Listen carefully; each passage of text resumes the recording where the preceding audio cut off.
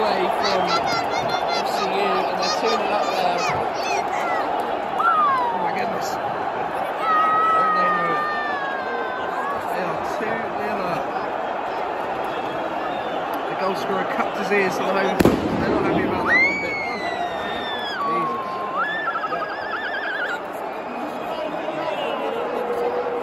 uh, my prediction looks way off at the minute. Mm-hmm. 2 0.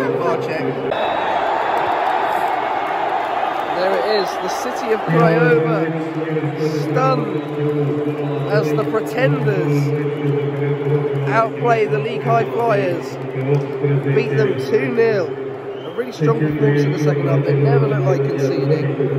And there it is, FCU win.